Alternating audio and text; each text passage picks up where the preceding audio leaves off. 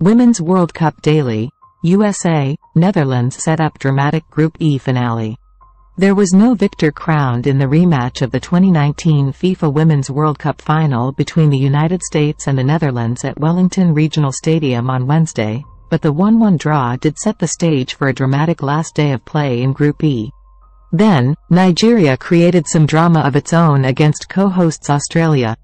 Here's a review of everything that happened in Day 8 of the 2023 FIFA Women's World Cup and a look ahead at what's to come in Day 9. Jill Roord opened the scoring for the Netherlands in the 17th minute of Wednesday's match.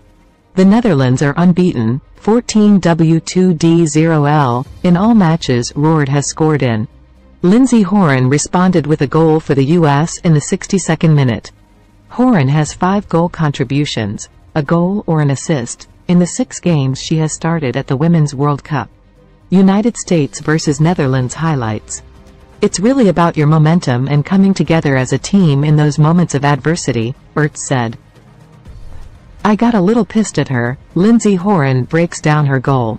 Vietnam can no longer qualify for the knockout stage with the latest results in Group E. Read more, Portugal vs Vietnam highlights, Portugal wins 2-0 to eliminate Vietnam.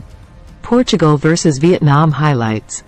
Prior to Thursday, Nigeria had never won a Women's World Cup match it had conceded first in, going 0W3D18L. Uchenna Kanu scored Nigeria's first goal of the Women's World Cup on its second shot on target of the tournament, according to FIFA. Australia vs Nigeria highlights. Portugal's Telma Encarnação opened scoring against Vietnam. Lindsey Horan pulls the USA even. Denmark played its opener in Perth and now travels west across Australia to play its second game. Group D, England vs Denmark, coverage begins at 4 a.m. ET, with kickoff at 4.30 a.m. on FS1.